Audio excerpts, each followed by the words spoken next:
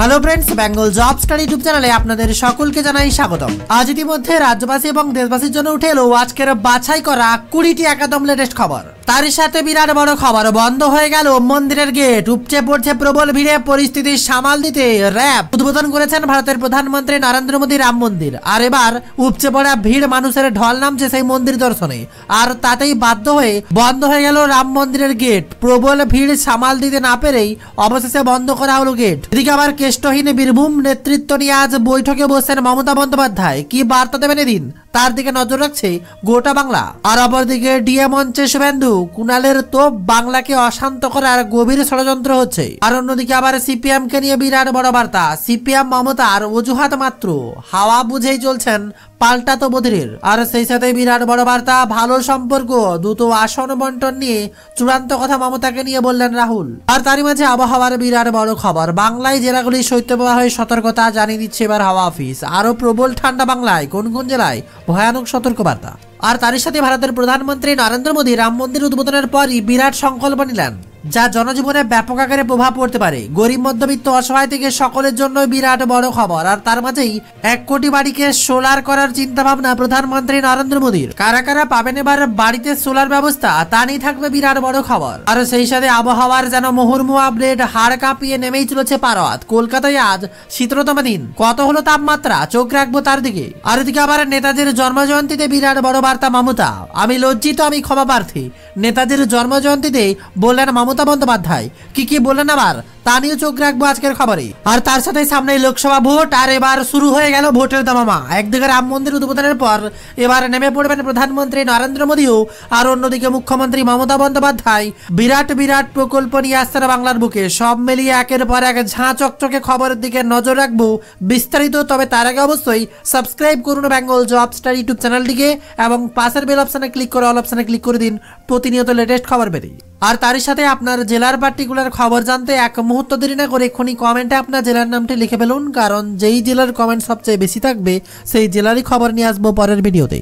প্রধানমন্ত্রী নরেন্দ্র মোদী উদ্বোধন করলেন রাম মন্দির। তবে কীভাবে তৈরি হলো অযোধ্যার রাম মন্দির তা নিয়ে চোখ রাখব আজকের খবর। যেখানে খবরে বলা যাচ্ছে বিশাল এই মন্দির ভারতের ঐতিহ্যশালী স্থাপত্য ও বৈজ্ঞানিকের সংমিশ্রণ। কোন রহস্য রয়েছে? আগামী দু হাজার পাঁচশো বছর ভূমিকম্প প্রতিরোধে সক্ষম এই মন্দির জানতে আজকের ভিডিওটি অবশ্যই শেষ পর্যন্ত দেখুন। জানিয়ে দেব কোন কোন পাথরের কতগুলো স্তর দিয়ে তৈরি হয়েছে এই রাম মন্দির। এমনকি কতগুলো পিলার তৈরি হয়েছে? এখানে কোনো রড ব্যবহার করা হয়নি, কোনো চুন, সুরকি, সিমেন্ট ব্যবহার করা হয়নি। তাহলে কীভাবে একটা স্তম্ভের উপরে আর একটা স্তম্ভকে দাঁড় করানো হলো? বিস্তারিত খবরে নজর রাখব এক্ষুনি, তবে তার আগে এই মুহূর্তের সবচেয়ে বড় খবর। রাজ্য রাজনীতি থেকে চাপানুতুর রাম মন্দির উদ্বোধন নিয়ে গোটা দেশ যখন মেতেছিল, এমনই সময় মমতা বন্দ্যোপাধ্যায় সংহতি যাত্রায় হেঁটেছিলেন আর তারপরেই বিরাট বড় ঘোষণা করেছিলেন। তিনি বলেছিলেন, শুধু রাম রাম কেন? সীতার নাম তো কোথাও নেই, তোমরা কি তাহলে মহিলা বিরোধী? এমনকি বাদ পড়েনি তার কথায়, বাবরি মসজিদেরও কথা। আর এমনই সময় বিরাট বড় বার্তা, সোমে কংগ্রেস নিয়ে সরবেবার মমতা, মঙ্গলে অসমে ন্যায় যাত্রায় তৃণমূলের পতাকা। নতুন করে ছাড়াইবার রাহুল গান্ধীর। মাত্র দশ দিন আগেই অসমের পার্বত্য পরিষদের নির্বাচনের ফলাফল নিয়ে কংগ্রেসকে খোঁচা দিয়েছিলেন অভিষেক বন্দ্যোপাধ্যায়। সোমবার কলকাতার সংগতি মিছিলের পর সর্বভারতীয় স্তরে বিজেপি বিরোধী জোটে ইন্ডিয়ার নাম না করেই কংগ্রেসের ভূমিকা নিয়ে সরব হয়েছিলেন মমতা বন্দ্যোপাধ্যায়ও। মঙ্গলবার দেখা গেল অসমের রাজধানী গুয়াহাটিতে রাহুল গান্ধী ভারতের ন্যায় যাত্রায় উঠছে জোড়া ফুলের আঁকা তৃণমূলের পতাকা। সূত্রপাত পর জানা গিয়েছে, মাহাব্বত কি দোকান নামক বাসের সামনে উঠছে তৃণমূলের পতাকা। কংগ্রেস নেতাকে সেদিকে তাকিয়ে হাত নাড়াতেও দেখা যাচ্ছে। তবে এটা স্পষ্ট নয় যে অসমের তৃণমূল সংগঠিতভাবে সেখানে জমায়েত করছিল, নাকি কেউ বিক্ষিপ্তভাবে জোড়া ফুল আঁকা পতাকা নিয়ে সেখানে পৌঁছেছিল। আর তার মাঝে বিরাট বড় খবর এবার সামনে উঠে এলো। পদপিষ্ট হওয়ার জোগাড়, ভক্তদের ভিড়ে নাজেহাল যোগীর প্রশাসন। খুলেও বন্ধ হয়ে গেল রাম মন্দিরের দরজা। মন্দিরে উপচে পড়া ভিড়, পরিস্থিতি নিয়ন্ত্রণে নাস্তানুব যোগীর প্রশাসন সর্বসাধারণের জন্য খুলেও বন্ধ করে দিতে হলো মন্দিরের দ্বার। উদ্বোধনের কয়েক ঘণ্টার মধ্যেই অযোধ্যা রাম মন্দিরে দর্শনার্থীদের উপচে পড়ছে ভিড়। পরিস্থিতি সামাল দিতেই হিমশিম খাচ্ছে রাজ্য এবং জেলা প্রশাসন। মঙ্গলবার সকালে সেই ভিড় এমন পর্যায়ে পৌঁছে যায় যে পদবিষ্ট হওয়ার মতো পরিস্থিতি সৃষ্টি হয়। আর ভিড়ের চাপে বেশ কয়েকজন অসুস্থ হয়ে পড়েছেন বলে জানা গিয়েছে। এই বিশৃঙ্খল পরিস্থিতি সামলাতে শেষমেশ মন্দিরের দরজা বন্ধ করে দেন রাম মন্দির কর্তৃপক্ষ। রামলালার নতুন মূর্তিতে প্রাণ প্রতিষ্ঠা হওয়ার পর থেকেই রাম মন্দিরের গেটে শয়ে শয়ে পুণ্যার্থী হাজির হন। সময় যত গড়িয়েছে, সেই সংখ্যা দ্বিগুণ হয়েছে। মঙ্গলবার থেকে সাধারণ মানুষের জন্য রাম মন্দির খুলে দেওয়ার কথা ঘোষণা করা হয়েছিল।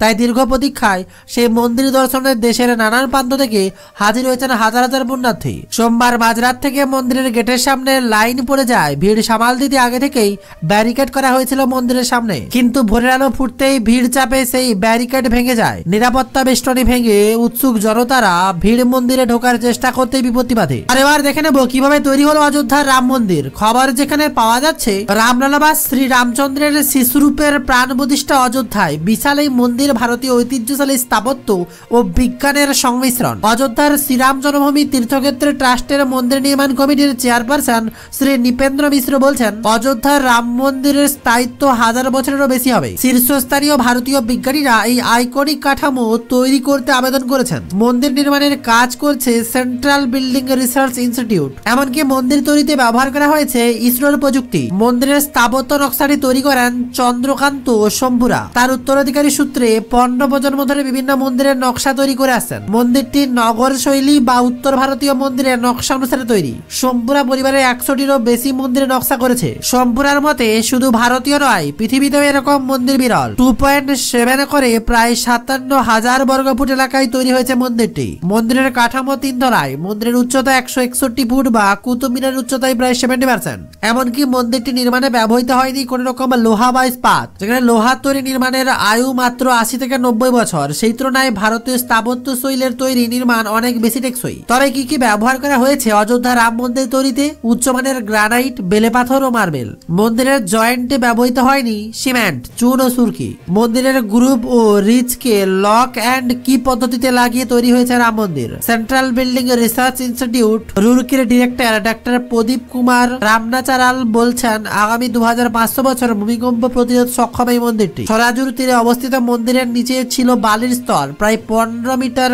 খুঁড়ে সাতচল্লিশটি স্তরে শক্ত গ্রানাইট পাথরের ভিত দেওয়া হয়। মন্দিরের উপরের অংশ গোলাপি বেলে পাথর দিয়ে তৈরি। ওই গোলাপি পাথরের নাম বংশী পাহাড়পুর। মন্দিরের নিচের তলায় আছে একশো ষাটটি থাম। প্রথম তলে একশো বত্রিশটি থাম, তার উপরের তলায় চুয়াত্তরটি থাম আছে। এইসব থামই গোলাপি পাথরে তৈরি। গর্ভগৃহে তৈরি রাজস্থানের সাদা মার্কানা মার্বেলে। তাজমহল তৈরি হয়েছে এই মার্কানা মার্বেলে। পঞ্চাশটি কম্পিউটার মডেল বিশ্লেষণের পর এই মন্দির স্থাপত্য ঠিক করা হয়। মূল মন্দিরের কাঠামোর নকশা সূর্য তিলকের মতো। আর তারই সাথে বিরাট বড় খবর, রাম মন্দির তো উদ্বোধন হলো। ওদিকে অযোধ্যার মসজিদ নির্মাণ কাজ কত দূর? কবে উদ্বোধন? দু হাজার উনিশ সালের নয় নভেম্বর পাঁচশো বছরের বিতর্কিত অবসান ঘটিয়ে অযোধ্যার বিতর্কিত জমি মামলার রায় ঘোষণা করে দেশের সর্বোচ্চ আদালত একশো চৌত্রিশ বছরের আইনি বিতর্কের অবসান ঘটে সেদিন ঐতিহাসিক অযোধ্যা রামলালার রায় ঘোষণা করে সুপ্রিম কোর্ট বলে, অযোধ্যায় বিতর্কিত জমি বিরাজমান রামলালার। সেই সঙ্গে নির্দেশ দেওয়া হয়, সুন্নি ও ওফাক বোর্ডকে মসজিদের জন্য অন্যত্র পাঁচ একর জমি দিতে হবে। সরকার অধিকৃত জমি থেকে পাঁচ একর জমি দিতে পারে কিংবা অযোধ্যার অন্যত্র জমি দিতে পারে। ট্রাস্ট তৈরি করে অযোধ্যার মন্দির নির্মাণ করতে হবে। সেই মসজিদ আজও নির্মাণ হয়নি। অযোধ্যা রামলালা মূর্তির প্রাণ প্রতিষ্ঠার আবহে এই প্রশ্নটা অনেকের মনে ঘুরপাক খাচ্ছে। উত্তরপ্রদেশের অযোধ্যা শহর থেকে প্রায় পাঁচশো কিলোমিটার দূরে ধান্নিপুর গ্রামে এই মসজিদ তৈরির কথা। সেখানে এখনও পর্যন্ত মসজিদের ইট, কাঠ, পাথর, স্বল্প বসতির মাঝে পড়ে রয়েছে বড় একটি খালি জমি। দু হাজার উনিশ সালে অযোধ্যার রামলালা ভারতের সুপ্রিম কোর্ট উত্তরপ্রদেশের সুন্নি ওয়াকাব বোর্ডকে বলা বলে তাদেরকে পাঁচ একর জমি দেওয়া হবে, যেখানে তারা একটি মসজিদ তৈরি করতে পারবে। সেই জমিতে মসজিদ নির্মাণের দায়িত্ব দেওয়া হয় ওয়াকাব বলে তৈরি করা সংস্থা ইন্দো ইসলামিক কালচারাল ফাউন্ডেশনকে। খবর আসছে ইন্দো ইসলামিক কালচারাল ফাউন্ডেশন উন্নয়ন কমিটির প্রধান হাজি আরফাত শেখ সম্প্রতি জানান, পবিত্র রমজান মাসের পর মে মাসে নির্মাণ কাজ শুরু হবে এবং মসজিদটি নির্মাণের জন্য লাগবে তিন থেকে চার বছর। তার সাথেই আইআইসিএফ এর সভাপতি জুফুর আহমেদ ফুরকি জানিয়েছেন, আমরা তহবিলের জন্য কারও কাছে যাইনি। কোনো জন আন্দোলন ছিল না। প্রধানমন্ত্রী নরেন্দ্র মোদী ভারতীয় জনতা পার্টির সাহায্যে তিন দশকেরও বেশি আগে থেকেই অনুদান চাইতে শুরু করেছেন। বর্তমানে ভারতের চল্লিশ মিলিয়ন মানুষের কাছ থেকে তিরিশ বিলিয়ন টাকা সংগ্রহ করেছেন। আইআইসিএফ ক্লাবের সেক্রেটারি আতাহার হোসেন বলেন, এই নির্দিষ্ট জমিতে একটি পাঁচশো সজ্জার হাসপাতালও পরিকল্পনা করা হয়েছে। আগামী সপ্তাহে একটি ক্রাউড ফান্ডিং ওয়েবসাইট চালু হবে বলে আশা করা হচ্ছে। আতাহার হোসেন একজন বিজেপি নেতাও। তিনি জানিয়েছেন, হজরত মোহাম্মদের নাম অনুসারে নতুন মসজিদের নাম হবে মসজিদ মোহাম্মদ বিন আবদুল্লাহ। বাবরি মসজিদ নয়। আমাদের প্রচেষ্টা ছিল মানুষের মধ্যে শত্রুতা, ঘৃণাকে একে অপরের প্রতি ভালোবাসায় পরিণত করা এবং রূপান্তরিত করা। আপনি সুপ্রিম কোর্টের রায় মেনে নিন বা না নিন, বলেন শেখ। আমরা যদি আমাদের বাচ্চাদের জনগণকে ভালো জিনিস শেখাতে পারি, তবে এই সমস্ত লড়াই বন্ধ হয়ে যাবে। আর তার সাথে উঠে এলো বিরাট বড় খবর। এই মুহূর্তে লেটেস্ট আপডেট যেখানে অযোধ্যায় প্রাণ প্রতিষ্ঠা হলো রামলালার মন্দির উদ্বোধন করে ভবিষ্যতের ভারতের ছবি দেখালেন প্রধানমন্ত্রী নরেন্দ্র মোদী আর যে ছবি আঁকলেন, তাতেই শুভেচ্ছা রাষ্ট্রপতির। আবেগে ভাসলেন তারকারাও। তবে কি কি শুভেচ্ছা? আগামী ভারতের জন্য কি কি চিন্তাধারা? মহাসামরে অযোধ্যার রামলালার প্রাণপ্রতিষ্ঠ উপবাস করে প্রধান যজমান হিসেবে পুজো দিলেন স্বয়ং প্রধানমন্ত্রী। সমস্ত পথা মেনেই সারলেন পুজো। করলেন আরতিও। অযোধ্যার রাম মন্দির প্রতিষ্ঠার সঙ্গে সমর্থ, সক্ষম, ভব্য, দিব্য ভারত প্রতিষ্ঠিত হলো। এমনটাই বার্তা দিলেন প্রধানমন্ত্রী। এদিন মন্দির থেকেই জাতির উদ্দেশ্যে ভাষণে ভবিষ্যৎ ভারতের ছবিও আঁকলেন তিনি। বিজ্ঞান প্রযুক্তি এবং আধ্যাত্মিকতার মেলবন্ধনে এক নতুন ভারত গড়ার বার্তা ফুটে উঠছে তার কথায়। বললেন, রাম কোনো বিপদের সূচক নয়, বরং সকলের সমস্যার সমাধান। তার প্রস্তাবিত রামরাজ্যে কোনো বিভেদ থাকবে না বলেই দেশবাসীকে আশ্বস্ত করলেন প্রধানমন্ত্রী। রাম মন্দির আন্দোলনের চূড়ান্ত প্রাপ্তির দিন হিসেবেই শুধু এই দিনটাকেই সীমাবদ্ধ করলেন না প্রধানমন্ত্রী। বরং এই দিন থেকেই যে দেশে নতুন সময় পূর্বে সূচনা হলো, তাও স্পষ্ট করে দেন। এদিনে প্রধানমন্ত্রীর হাতে রাম মন্দিরের রেপ্লিকা তুলে দেন উত্তরপ্রদেশের মুখ্যমন্ত্রী যোগী আদিত্যনাথ। মন্দির উদ্বোধনের আগেই প্রধানমন্ত্রীকে শুভেচ্ছা জানান রাষ্ট্রপতি দ্রৌপদী মুর্মু। এদিকে রাম মন্দির উদ্বোধন উপলক্ষে তারকাদের ভিড় জমলো অযোধ্যায়। এদিকে উচ্ছ্বাসে ভাসলেন সচিন তেন্ডুলকার থেকে সায়না নেওয়ালরা অন্যদিকে ঠান্ডা লড়াই ভুলে রাম নামে একাকার বলিউড ও দক্ষিণ। অমিতাভ বচ্চন, অনুপম খের, রণবীর আলিয়া, ভিকি ক্যাটরিনা, পাশাপাশি রজনীকান্ত রামচরণ ও সামিল হলেন রাম বন্দনায়। দিনটিকে স্মরণীয় করে রাখতে দেশের বিভিন্ন প্রান্তেই ছিল না আয়োজন। অযোধ্যার প্রাণ প্রতিষ্ঠার রেস ছড়িয়ে পড়ল গোটা দেশেই। আর তারই মাঝে বিরাট বড় বার্তা সংগতি বার্তা দিতে রাজপথে মমতা। ধর্মের রাজনীতি নিয়ে বিজেপিকে তোপ ডাকছেন নেত্রী মিছিলে আটাল অভিষেক থাকলেন একাধিক ধর্মগুরু। তবে এদিনে দেশে চলতে থাকা ধর্ম রাজনীতির বিরুদ্ধে কার্যত তোপ দেখেন মমতা বন্দ্যোপাধ্যায়। জানান, ভোটের নামেই দেশটাকে বিক্রি করেছে কয়েকজন। ভোটের আগেই ধর্মের উস্কানি দেওয়া হচ্ছে, কিন্তু বাংলা কিংবা দেশ কোনো কিছুই ভাগ করা চলবে না। এদিনে বিজেপিকে নারী বিদ্বেষী বলে কটাক্ষ করেন মমতা, তার সাপ কথা। তিনি রামের বিরুদ্ধে নন, তবে এক যুগে রাম সীতার পক্ষে। এদিকে নাম না করে অভিষেক স্পষ্ট নিচেনা করলেন বিজেপিকে। বললেন, আমরা ধর্মকে সামনে রেখে রাজনীতি করি না। গোটা দেশে যখন ধর্মের নামে অস্ত্রর ঝঞ্ঝনানি চলছে, তখনই বাংলায় সব ধর্মের ঐক্য সংগতি দেখিয়েছে। অযোধ্যার আয়োজনকে কটাক্ষ করে তার বক্তব্য, ধর্মাচরণ আমি বাড়িতে পালন করব, কিন্তু মানুষকে পরিষেবা দেব মানব ধর্ম দিয়ে। ধর্মের নামে নয়, কাজের নামে, একশো দিনের টাকার নামে ভোট দিতে হবে। রাম মন্দির উদ্বোধনে আমন্ত্রণ পেলেও অযোধ্যায় যাননি মমতা বন্দ্যোপাধ্যায়। বাংলার মাটিতে দাঁড়িয়ে সংগতি মিছিল করেই ধর্মের ভেদাভেদের বিরুদ্ধে দিলেন সমন্বয়ের বার্তা। আর অপরদিকে বিরাট বড় বার্তা, কেষ্টহীন বীরভূমের নেতৃত্ব নিয়ে আজ বৈঠকে মমতা কি বার্তা দেবেন তিনি? তার দিকে নজর ছিল। এবার তিনি কি বললেন?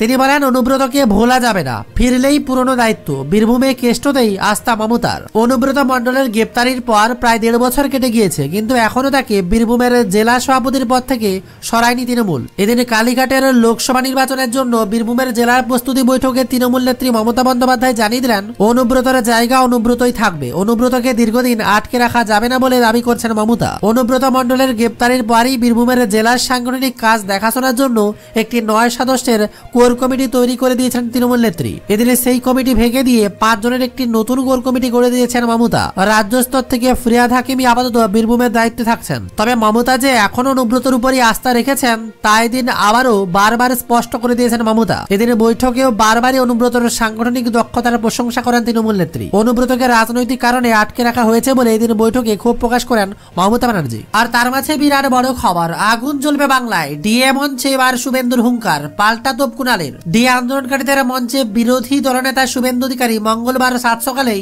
শহীদ মিনারের মঞ্চে পৌঁছে যান তিনি। দীর্ঘক্ষণ সেখানে ছিলেন বিরোধী দলনেতা। যৌথ সংগ্রামী মঞ্চের তরফে আন্দোলন চলছে অনেকদিন ধরেই। মঞ্চের আহ্বায়ক ভাস্কর ঘোষকে নবান্ন অভিযানের পরামর্শ দিলেন শুভেন্দু। এরপর হুঁশিয়ারি দিয়ে তার মন্তব্য, এদের কিছু হলে আগুন জ্বলবে। আর তার এই মন্তব্যের পাল্টা দিয়েছে তৃণমূল দলের মুখপাত্র কুণাল ঘোষ জবাব দেন, এর মধ্যে গভীর ষড়যন্ত্র আছে। আর তার সাথেই খবর, একশো দিনের কাজের টাকার ইস্যুতে দিল্লিতে বৈঠক। হাজির প্রধানমন্ত্রী নরেন্দ্র মোদী দপ্তরেও সচিবরা মঙ্গলবার একশো দিনের কাজের বকেয়ার ইস্যুতে কেন্দ্র রাজ্যের সচিব পর্যায়ের বৈঠক হয়ে গেল। রাজ্যের সচিব পর্যায়ের প্রতিনিধি দলের সঙ্গে এদিন বৈঠক করলেন কেন্দ্র গ্রামান্বয়ন মন্ত্রকের সচিব শৈলেশ কুমার সিং। বৈঠকে উপস্থিত ছিলেন প্রধানমন্ত্রী দপ্তরের সচিবরাও। কি কি বিষয় নিয়ে আলোচনা হলো মঙ্গলবার দুপুরে দিল্লির এই সচিব পর্যায়ের গুরুত্বপূর্ণ বৈঠকে। একশো দিনের কাজের বকেয়া টাকার দাবি দীর্ঘদিন ধরে কেন্দ্রের বিরুদ্ধে শুরু চলাচ্ছে রাজ্য সরকার। এবার এসবের মধ্যেই মঙ্গলবার একশো দিনের কাজের বকেয়ার ইস্যুতে কেন্দ্র রাজ্যের সচিব পর্যায়ের বৈঠক হয়ে গেল। জানা যাচ্ছে, বৈঠক শেষে আজই কলকাতায় ফিরছেন রাজ্যের সরকারি সচিব স্তরের প্রতিনিধিরা। বাংলায় ফেরার পর কেন্দ্রের সাথে এই বৈঠকের নির্যাস সম্পর্কে তার একটি রিপোর্ট জমা দেবেন মুখ্যমন্ত্রীর কাছে। আর এদিকে আবার নেতাজি সুভাষচন্দ্র বসুর জন্মদিনে কেন ছুটি ঘোষণা নয় কেন্দ্রের? প্রশ্ন তুলেন মমতা বন্দ্যোপাধ্যায়। বিজেপির রাজনৈতিক প্রচারের জন্য ছুটি দেওয়া হয়, কিন্তু দেশের জন্য যারা প্রাণ দিয়েছেন, তাদের জন্য ছুটি দেওয়া হয় না। তেইশ জানুয়ারি নেতাজি সুভাষচন্দ্র বসুর জন্মদিনে এবার বিজেপিকে আক্রমণ করল তৃণমূল কংগ্রেস।